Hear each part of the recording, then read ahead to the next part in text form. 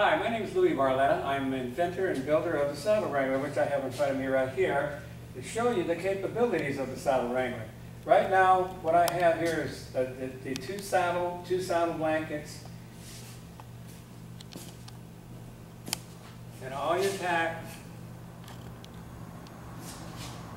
halter, bridles, negro, everything you need to put on your horse and wheel it to your horse from your tack room or from your trailer. Now, these saddles that I have on here now, which are mine, are heavy. They're at least 50 pounds apiece. Now, I want to show you that you can't handle these, these two heavy saddles. Now, naturally, if you had a, a lighter saddle, we'll naturally put it on top. But I want to show you that it will handle, I don't care what saddle you put on this, it'll handle it. By picking up the handle, you, you feel the weight, but but the sturdiness and the ability to carry these two saddles, uh, the saddle wrangler is put together very well. So what I've done to compensate for the, the weight, that I made the front handle where it'll extend out.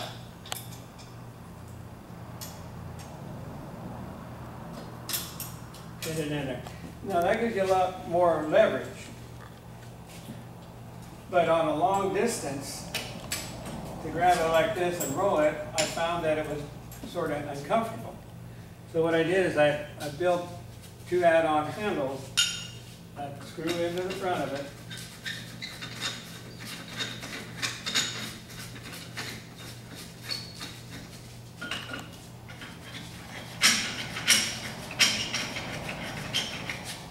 Compensate for the weight.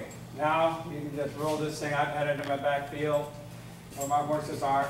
And uh, it, I, you know, I tested this thing, the saddle wrangler out a lot myself, going to the shows, because we've been to quite a few shows with it, demonstrating the capabilities of the saddle wrangler. It also has a little bucket up front for putting your uh, hoof pick or whatever else and, and your fly spray.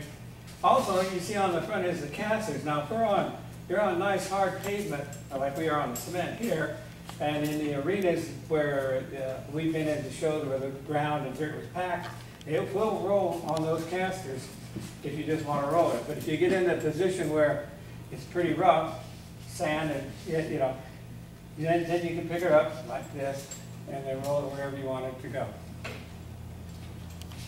So that's uh, phase one.